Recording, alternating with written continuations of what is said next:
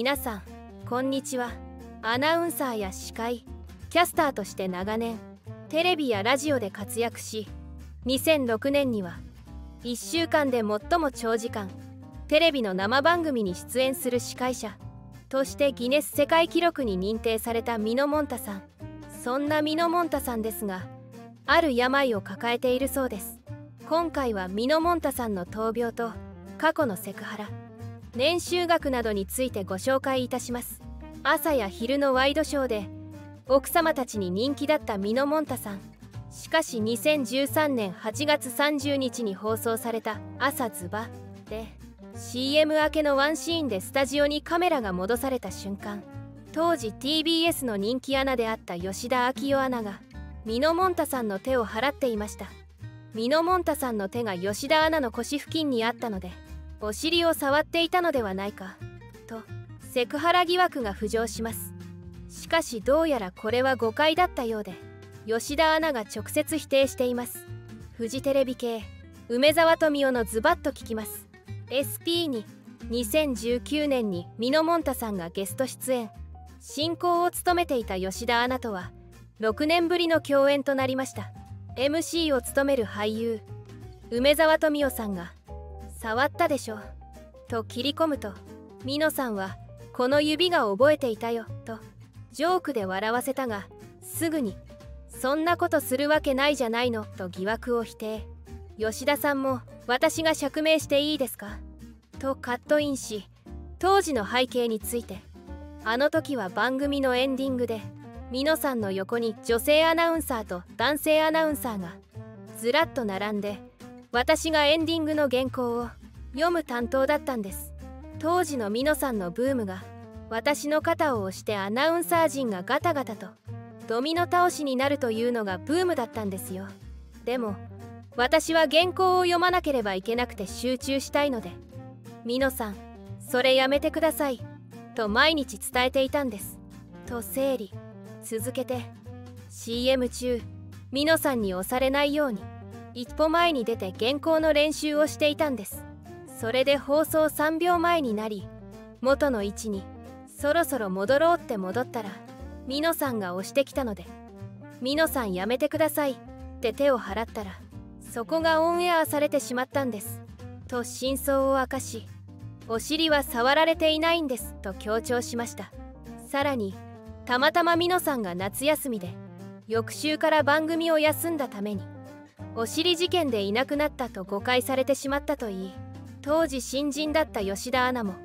何か発言すると余計な誤解を招くから何も言わない方がいいと釘を刺されていたために釈明もできなかったと明かしました。それらによって世の中的にはお尻を触られたアナウンサーになってしまった。とまとめ今日でようやくあの事件の呪縛から解放されると喜んだ様子でした。そもそもミノモンタさんとはどのようにしてここまで知名度を上げた方なのでしょうか。ここからは生い立ちについてご紹介します。ミノモンタさんは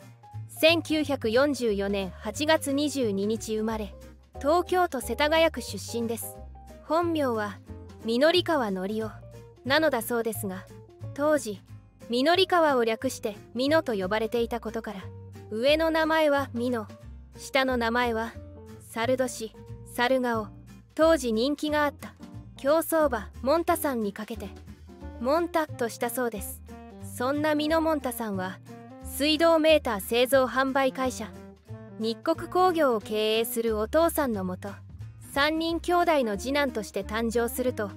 幼い頃は世田谷区の自宅の離れに下宿していた俳優の森重久彌さんからよく映画のチケットをもらい映画を見に行ったり家の近所に撮影所があったことから映画の撮影を家族でよく見に行き日常的に映画スターを見ていたそうで小学校に入学した頃には映画やお芝居に興味を持つようになっていたそうです。高校では演劇部に入部するも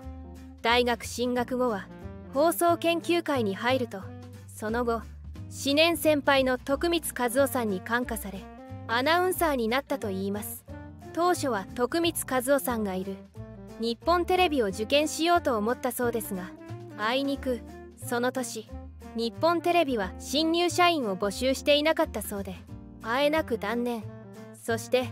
奥さんの助言でラジオの文化放送の採用試験を受けるとなんと200倍の倍率を勝ち抜いて合格したそうでミノモンタさんは大学卒業後の1967年22歳の時に文化放送に入社したのでした。文化放送での初めてのレギュラー番組は「ゲリラで行こう」その後1969年6月に始まった文化放送の「聖ヤング」の初代パーソナリティに就任し人気者になるとオールジャパンポップなどでも存在感を示します。オールジャパンポップではオープニングで「ミノミノモンタミノモンタ」という軽快な音楽が流れるなど完全に番組の顔となっていました。ラジオのパーソナリティの他にもプロ野球の中継なども完璧にこなしオールラウンドプレーヤーとして活躍されていました。1979年9月には文化放送を退社し実家の水道メーター会社を継いでいますが1983年にフリーとして活動再開。1989年日本テレビ系午後は「まる思いっきりテレビ」で人気司会者の座を確立しました。それ以降数々の大人気番組で司会を務めてきました。当時睡眠時間2時間で過酷なスケジュールをこなしていたことは伝説として語り継がれています。そんなミノモンタさんですが体調に異変が出始めます。最初の異変は2019年の秋頃でした。ミノモンタさんは知人の葬儀に参列し昇降の列に並んでいました。すると勝手に上半身が前に傾きじっと立っているのが辛いと感じたそうです。以来何かおかしいと気になり始めました。かかりつけにしている大学病院で院長に相談すると一度検査をと勧められました。定期的に人間ドックを受けているのにと不思議に思ったそうですがそこで院長にパーキンソン病の疑いがあると伝えられます。その後すぐに検査を受けてパーキンソン病だと判明しました。パーキンソン病とは脳の神経細胞が壊され神経伝達物質のドーパミンが減る難病で動作が遅くなり手足の震えなどの症状が起きる病気です。根本的な治療法はまだ確立されていません。当時の心境をミノモンタさんは次のように語っています。ショックでした。病名は知っていたしそれらしい患者さんを見かけることもあったけどそれまでは人事でした。以来ミノモンタさんは病気の解説本を買い込んで読むようになりましたがますます辛い病気だなと痛感することになりました。幸い初期段階で生活に大きな支障は生じませんでした。主治医も今は良い薬もあるしいろいろな対処法があると励ましてくれました。前向きに行くしかないと受け止めることにしました。2020年は別の持病で処方されたものも含め計7種類の薬を服用していたようです。ドンペリドンもその一つ。医師から名前を聞いてすぐ高級シャンパンドンペリニオンが頭に浮かびました。先生に「それならほぼ毎晩飲んでますよ」って言ったら「緑川さん本名にぴったりの薬ですよ。だって」とおかしそうに笑っていました。2020年3月ミノモンタさんは十数年にわたって司会を務めた人気バラエティ番組秘密の県民賞を降板しました。降板以降は父から引き継いだ水道メーター製造販売会社の会長として毎日神奈川県鎌倉市内の自宅から東京都港区の本社に通っていました。昼頃には出社して午後5時まで働いていたそうです。病気のせいで億劫になっちゃいけない。ミノモンタさんはいつも自分に言い聞かせるように。そう言っていたそうです。会長室にはベッドや自転車型マシンなどが並んでいました。そこで週2回1時間半理学療法士から筋力維持の訓練を受けていたそうです。そんな努力にもかかわらずじわじわと病魔はミノモンタさんの体を蝕んでいきます。初めは平行感覚の違和感でしたがだんだんと指先に異常を感じるようになりワイシャツの小さなボタンは開閉が難しくなっていきました。また靴下は椅子に座らないと脱いだり履いたりできなくなっていました。2021年夏頃には体だけでなく精神にも異常をきたすようになりました。病状を少しでも抑えるために取り組んでいた。筋力維持の訓練をこの頃から取りやめました。仮面様顔形と呼ばれる。表情の変化が乏しくなる症状も。伴い始めたようで。その笑顔を見る数がかなり減ったそうです。それでもなんとか昼間の出社はきちんとしていました。父から引き継いだ会社だけは守らなければ。という意志が残っていたのかもしれません。しかし2023年年始とうとう出社を拒むようになります。夜に寝れなくなり昼間4時間ほども睡眠をとるような年末を過ごされていたようですがそんな生活から復帰ができなかったそうです。また春頃からは自分で立って歩くこともできなくなりました。車椅子が必要となる状態です。これはパーキンソン病において重症度4から最高度の5にあたります。この頃から昼間起きていてもぼーっと空中を見つめている時間が増えたそうです。呼びかけても返答がなく肩を叩いてもかすかに眼球を動かす程度までになりました。かろうじて排泄等は自力で行えているそうですがいつ全解除を要する状態になってもおかしくないと見られています。ミノさんは2012年に奥さんを癌で亡くしておりそこから就活に励んでいたようです。遺産などの整理には困らないでしょうが解除するミノモンタさんのお子さん夫婦はもうしばらく大変な日々が続くかもしれません。そんなミノモンタさんですが全盛期の年収がすごすぎると言われていました。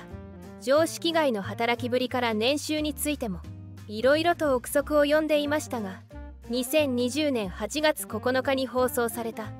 読売テレビのレギュラー番組「朝からミノモンタ」で噂の年収をついに告白。番組でいつの頃からか神奈川県の長者番付で。ずっと1位だった。と懐かしそうに振り返り。質問をする小島瑠璃子さんに対して。15区って単位やめてほしいね。と発言しています。さすがに最高年収100億円は冗談でしょうが。3040億円を超えていても不思議ではないですね。預金や貯金について質問をする小島瑠璃子さんを巧みなトークで煙に巻きましたがその際に奥さん個人が管理していたと発言したのは一種の逃げ技なのかもしれません。確かにミノモンタさんの夜遊びぶりは銀座や六本木でも有名な話なので奥さんがチェックをしないと際限なく浪費をしてしまった可能性が高いでしょうね。もっともミノモンタさんのピークは数年ではなく10年以上も続いたことから全盛期の年収を合わせると夜遊びでは使い切れないギャラを稼いだのは間違いなさそうです。ミノモンタさん最大のスキャンダルといえば次男緑川武人さんが2013年に犯した窃盗容疑での逮捕です。他人のキャッシュカードで現金を引き出そうとしたとして警視庁は11日日本テレビ社員緑川武人容疑者31を窃盗未遂容疑で逮捕した。発表によると緑川容疑者は8月31日午前1時10分頃東京都港区新橋のコンビニ店で近くの歩道によって眠り込んでいた40歳代の会社員のカードを使って現金自動預け払い機 ATM から現金を引き出そうとした疑い。次男も長男の緑川隼人さんと同じく慶應義塾大学を卒業し日本テレビに就職したエリートでありました。次男は学生時代からやんちゃだったという噂があります。学生時代に学校敷地内の盛況で組織的な集団万引きに関与し父が学校の全クラスにエアコンを設置したという噂が出回っています。2013年に窃盗容疑で逮捕されると日本テレビを退職。その後に父の会社に入ったと言われていましたが年金保険のために名前を置いただけと否定されました。しかし週刊誌には父の会社日国の関西支部で仕事してる姿が取り上げられました。現在は日国の関西支部で単身赴任で1日5000円のビジネスホテルに泊まりながら朝8時から夜5時まで働く生活を送っているそうです。このスキャンダルとミノモンタさんが吉田アナにセクハラをした。疑惑が立て続けに起こったことでミノモンタさんの芸能活動に支障が出ると思われましたがやはりミノモンタさんは芸能界に必要とされていた存在であっただけあり一度も活動を休止することなく最後までやり遂げました。いかがでしたか？今回はミノモンタさんの闘病と過去のセクハラ年収額などについてご紹介いたしました。最後までご視聴ありがとうございました。コメントを残してくれると嬉しいです。チャンネル登録高評価もぜひお願いいたします。それではまた。